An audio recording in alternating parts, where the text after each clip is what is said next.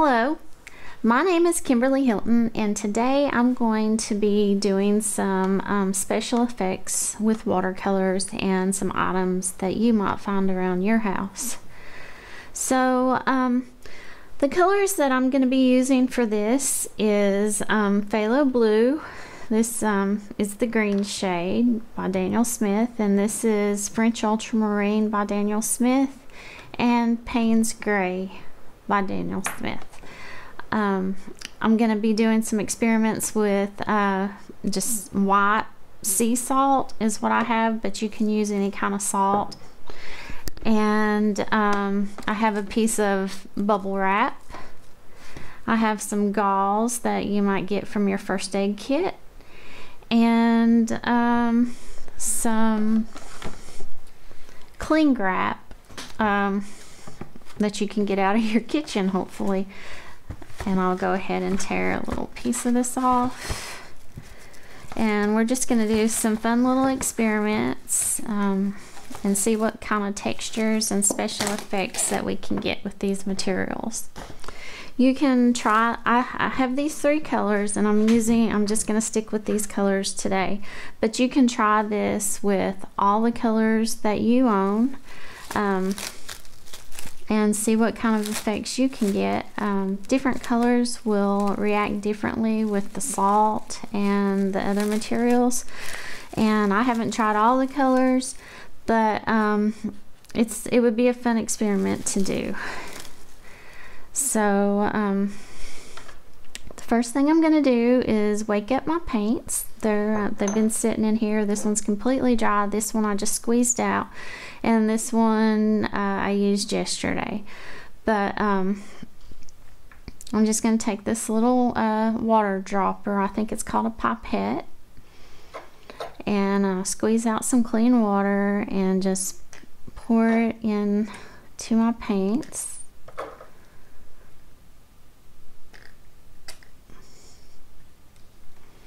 and then I'm going to make a, uh, a wet wash. And just kind of get I'm just kind of mix it till it's like as thick as uh, milk like whole milk. And I'm not going to mix that whole clump there. I'm just going to let it sit there. That'll be fine Now I'm trying to make this um, video um, very simple and easy to follow for beginners of all ages. And I want everybody to be able to follow along and um, enjoy this little um, painting experiment. So um, this ultramarine blue is rather thick. So I'm just gonna um, add more water to this and wet it down that may be even a little too thick. It doesn't really matter. This is just experiments. So, um, you know, just do do yours however you want to do it and you can always do as many of these as you want. And I'm just using um, three flat brushes that I have on hand. I'm not using my best brushes. I'm just using um, just some regular old um, synthetic flat brushes uh, as you can see of different sizes and in case you're wondering about my water pots uh, I love these little water pots and these are a freebie um, these are actually the lids to laundry detergent um, these lids are really cool because they have these little indentions here that you can set your paintbrush on and it keeps your paintbrush from you know, uh, sitting down into your paint or sitting in your paint water and running your bristles. Um, and it keeps your paint separate, which I think is really cool. And I love these, and I save all of them I get. And um, this particular one came from the big jugs of Tide that have the little um, pump on it. I think they're 64 fluid ounce jugs of Tide. I'm not sure, but I, maybe you can get those on other brands. But um, I save all the detergent lids that I get, especially these kind. The other kinds are useful, but they don't have the indentions on them. But they make good little wash cups or water pots, and they're free, so that's even better. So um, my Phthalo Blue is kind of kind of a little bit thicker than whole milk, maybe like cream, but I'm gonna add a little more water and get that a little bit runnier. Phthalo Blue is a very strong color. You uh, A little bit goes a very long way. And um, so I want that to be rather thin. And I'm just going to rinse that color out a little bit into a different um, pot of water. It's good to have more than one pot of water. For this experiment, I'm going to start with the bubble wrap and I thought this would be a pretty cool thing to try. So I'm just gonna dip into this color. If you don't have Payne's Gray, you can use any color that, um, that you want to use. It doesn't matter. So um, I'm just gonna paint on this gray color.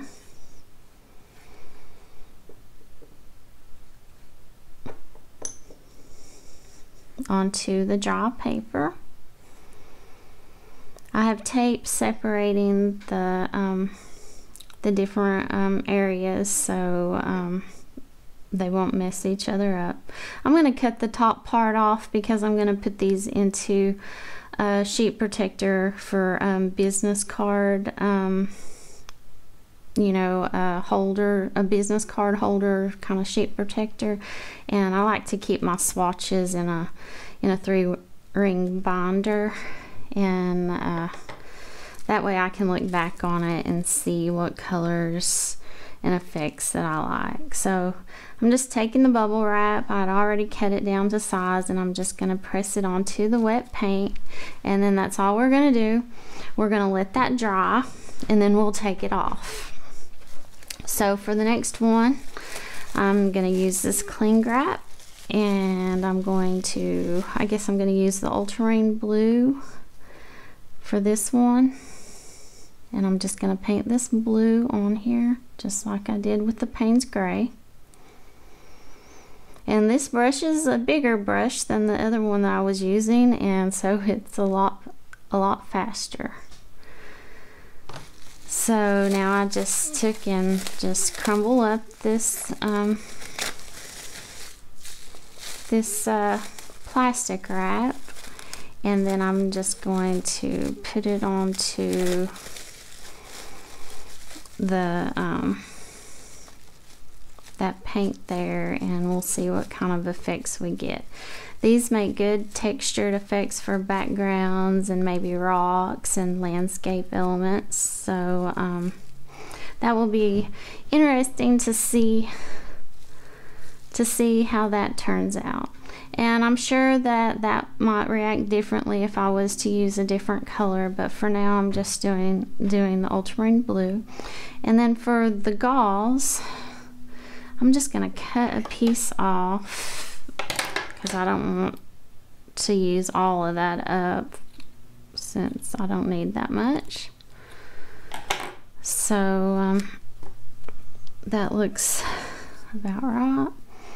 And um, I think this will make, I probably don't even need the two layer. Let's just do two layers just to see.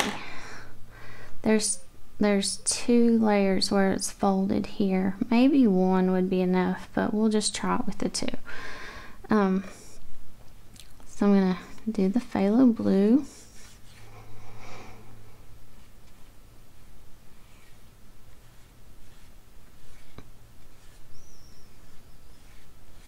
Just paint that on. And now I'm going to lay the gauze down. You could, um, you could uh, wrinkle the gauze up and lay it to where it looked more like a fabric. I think this would be really cool um, to make like if you were painting somebody wearing a flannel shirt or maybe um, some textures like a towel or, or, or a blanket or something, uh, I think that would be very nice to, um, to get like fabric textures. Okay, so now that we have that done, I'm not going to do anything more to that except let it dry and then we'll come back and we'll take it off and we'll see what we have. And then for, for this one, I'm using salt and Payne's Gray, salt and the ultramarine, and salt and the phthalo blue. So um, I'm just going to, I don't even need to rinse my brush because I have my brushes separate and so it doesn't really matter. I'm just going to get my color out. And I just wanted to see how the different colors would react with the salt. I've I've used I've done I've done some of these colors before but not all of them together. So I just kind of want to see for myself what colors work better with this salt effect. Now uh, putting salt on watercolor can um, make it look like uh, snow or maybe stars or um, just some really cool textures. And um, I'm just gonna grab I have three different kinds of salt. This is the fine white salt. And it does make a difference how dry the um, how dry the um, paint is the longer it dries the less of an effect that you're gonna get with it. So um, what I might do is go ahead and uh, let that soak in a little bit while I'm painting in some of this ultramarine blue here on this next uh, square or rect rectangle.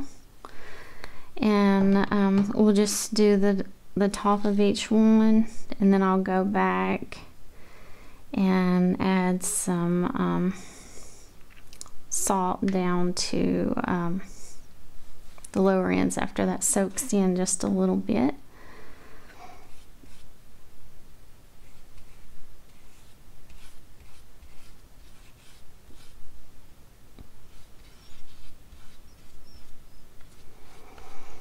In case you're wondering, these are lids to um, milk milk jugs.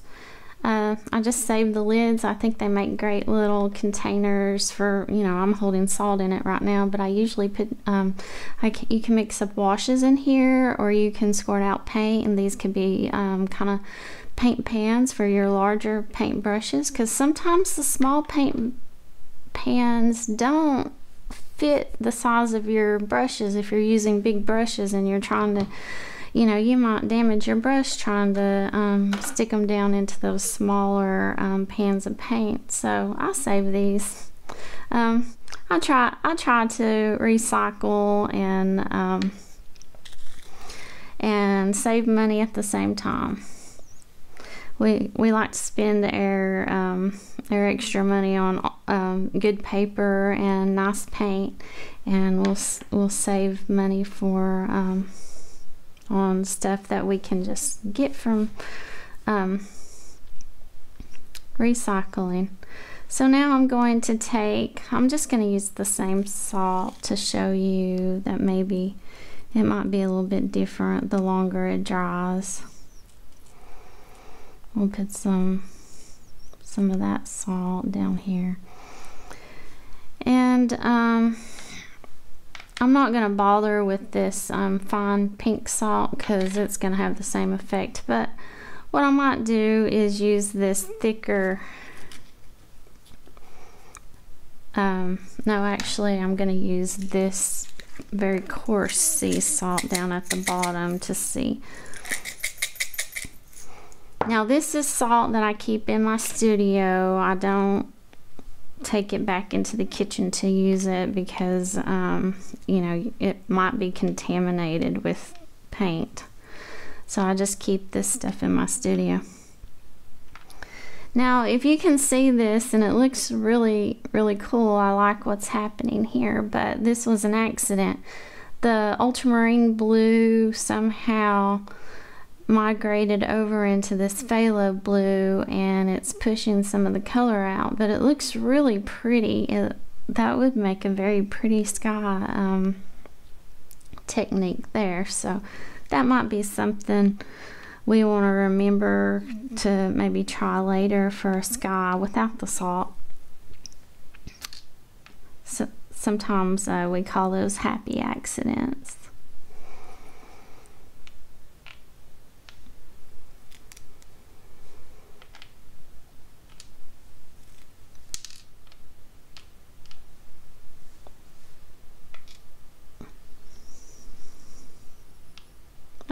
So um, that's all I'm going to do for now. It's time to let these dry and then we'll come back and we'll um, take off the um, um these um, bubble wraps and cling, cling wrap and gauze and then we'll brush away the salt. I just thought of doing another experiment while this while we're waiting for this to dry and this is just going to be a little bonus tip um, so I've never done this before, but um, I've been wanting to try this. So um, I'm going to go ahead and uh, do, uh, this is going to be painting with bubbles. So um, since this paint is already left over, I'm going to just pour some, that wash, that blue paint into another, into this cup. I emptied it out. And um, Let's try the phthalo blue. And, uh, and I don't know if I want to do the Payne's Gray or not, but we'll try it. Okay, so I'm just, uh, this is one way to use up paint. Now, um, I'm going to take these to the, um, to the sink and I'm going to uh, squirt in some dishwashing liquid into these and uh, fill it up with water and it's going to make bubbles. So I wonder if that's enough. Maybe I'll strip a little bit more. I don't want to use up all my paint, but I thought this would be a fun experiment for you and me. Okay, so let me go take take these to the sink Okay, so now I'm at the sink and um, I have some, this is Dawn dishwashing liquid inside this container. And what I'm going to do is just add a little squirt to each one of these cups. And then I'm going to fill it with warm water so that we get bubbles.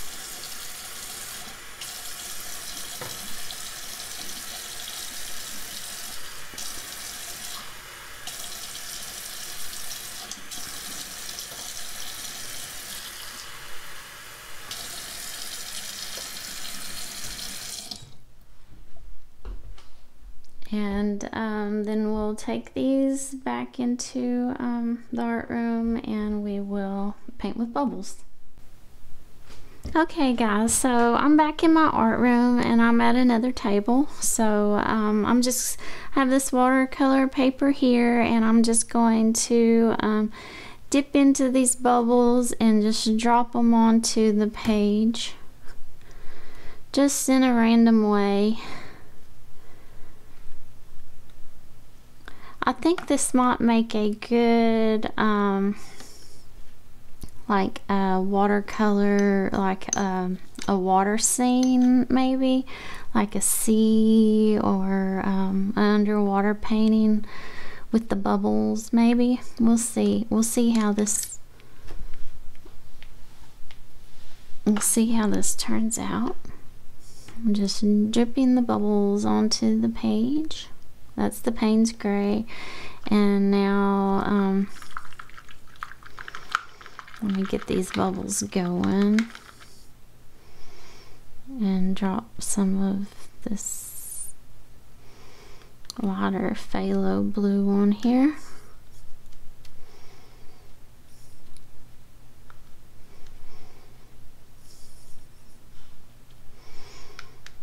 I'm just using uh, whatever paint brushes that I could grab to um,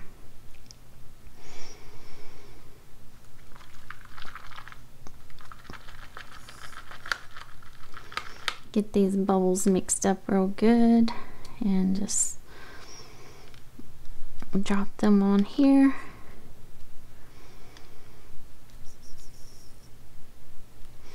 Um, for me, I think art's meant to be fun. Um, I like to play around uh, and see see just see what can happen. Um, that's the whole whole thing about being creative and exploring. Um, the things that don't work out, you can scrap them, but you you learn something, and um, the things that do work out, you can try to uh, redo it in a um, in a more uh, in another painting, and just uh, just explore uh, your your um, art materials and stuff that you might have on hand that you can get some uh, pretty cool effects with. I think this is um, going to be really pretty. This um, this is one that's I just did, um, and it's our it's starting to dry, and you can see you can see the little bubbles here so um, I'm gonna let continue letting that one dry and then I'm gonna let this one dry and then we'll come back and we'll see um, see what we have. But I think that's pretty cool. It was pretty fun. And if you try it let me know um, let me know what you think and um, if you enjoyed it uh, and uh, I'll be back and reveal the final results uh, as soon as everything dries so See you soon. Okay, so I'm back and this has had time to dry. It's been about 24 hours. I just let this dry naturally and um, I didn't take a hair dryer to it. Um, I just uh, walked away and let it dry. So now we'll um, take off the um, the salt and the saran wrap and the bubble wrap and gauze and see see what we have. So um, I guess we'll do the bubble wrap first. Okay, so um, with the bubble wrap you can see almost like little stone-like textures. I could see this being used for um, maybe um, some rocky textures or um, underwater scenes where there's pebbles and stuff like that or um, maybe even some interesting backgrounds. Uh, if you use different colors, you would um, it would look differently. And then this is the saran wrap and the um, ultramarine blue, and that's kind of cool. It left almost rocky formation like shape, so um, that's some interesting textures and this is the gauze. and um, I'm a little bit disappointed with um, with the color that I chose this is was the phthalo blue and it didn't really um, react really well with the gauze. I had um, peeked I'd raised some up last night after it had time to dry and uh, to see what it done and it, it this is what it looked like it didn't really have much of an effect so I went and um, put some more um, paint over half of it to see if that would do anything but it didn't really didn't really get the effects that I was going for. I've seen this done with um, other colors with uh, a lot better effect. so I will be trying that out with different colors and um, this is the salt effects and as you can see um, the salt reacts differently to the different colors and um, I'm just looking for something to kind of wipe the salt off I would normally do this outside because I don't really want to make a mess but um, let me just brush some of this away.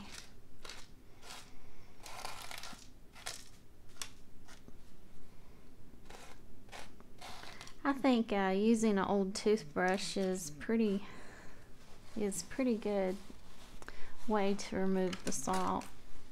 Let's try this palette knife. Palette knife works good too. But um, I would suggest you do this outside, which I'm gonna take and when I finish this up, go outside and remove the rest of it because I don't want to get salt all over the place. But um, I just want to show you kind of what it looks like. It had a lot better reaction with the Phthalo Blue than it did the Ultramarine, and it even uh, worked pretty good with the um, Payne's Gray, which this Payne's Gray is made from Ultramarine Blue, Ivory, and Ivory Black. Um, so um, the Ivory Black must help it.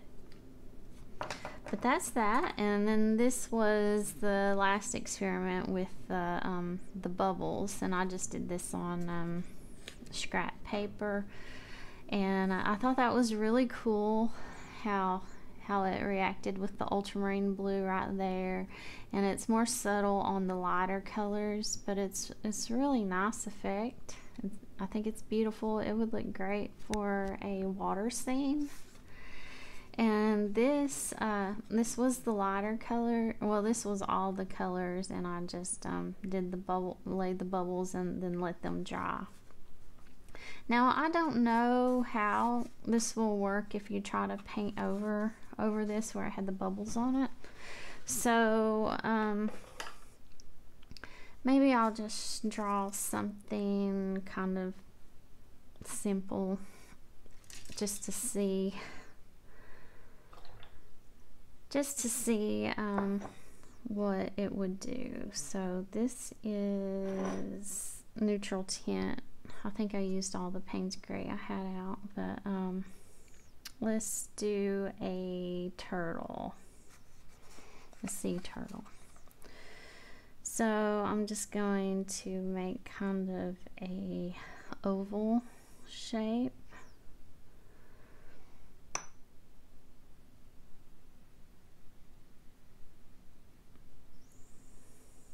and I'm just doing this from my imagination. Um, so I I might be wrong. I don't know. So I'm just gonna do some like little shell shapes.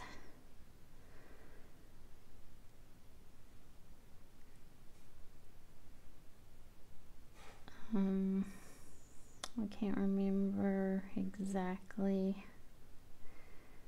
Um, I may have too too many of those um, those shapes, but I just wanted to see how how this would look with the little little turtle. I'll give it a little tail.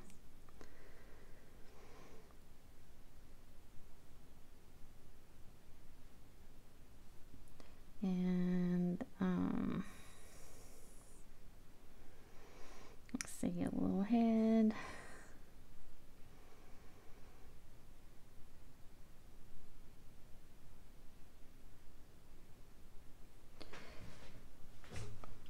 and some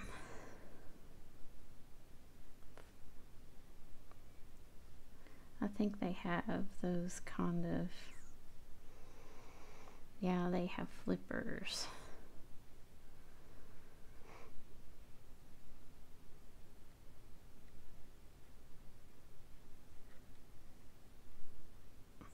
Make his head darker.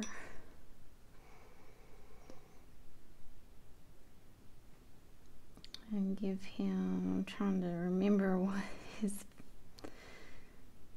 their feet look like.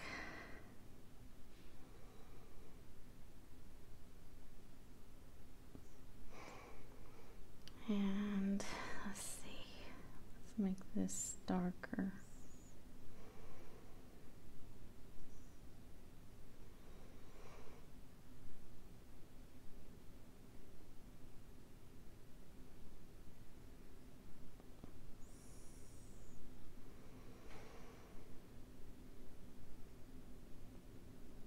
their feet kind of have funny shapes, so um, and their flippers.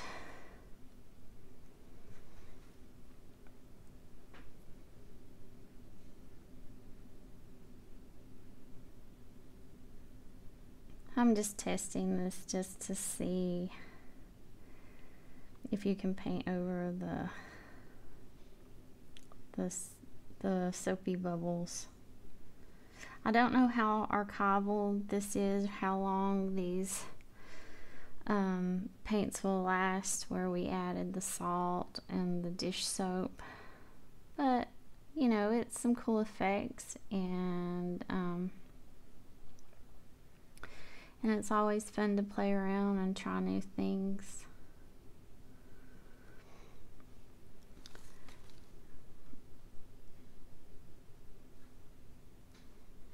So maybe if I wanted to go back in later and add some uh, some different colors or some more um,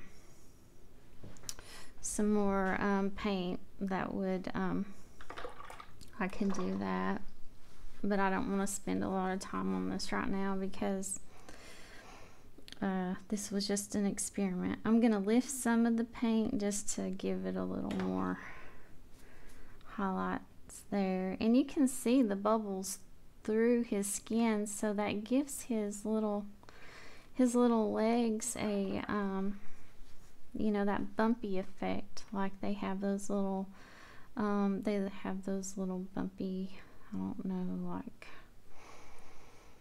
what it's called uh, scales maybe? I don't know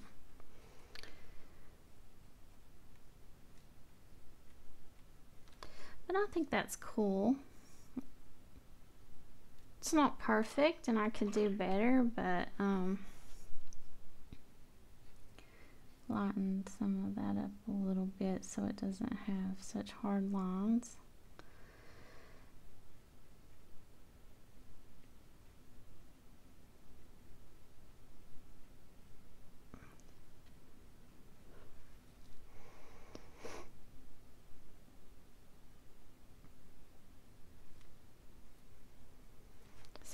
Any excuse to paint, right?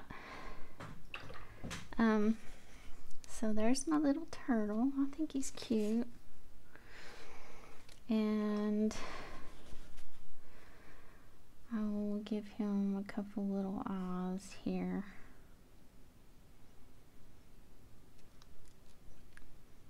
And a little darker down here a little darker on the tail, a little darker here and here. And let's put his head down a little bit by a little shadow there. Okay, so that's it. I'm gonna put a a signature down here. I'm not sure where I want it to be. Maybe like this. I'm just gonna do my initials and oh happy new year. This is January 1st 2022 so I hope your new year is um, better than the last and I hope you have peace joy and happiness and health for this coming year. So um, thank you for watching uh, consider subscribing to my channel if you would like to join me again for more art um, tips and tricks and whatever. Um, I hope you have a great day and a really good whole new year. Thanks for watching and I'll see you next time. Bye.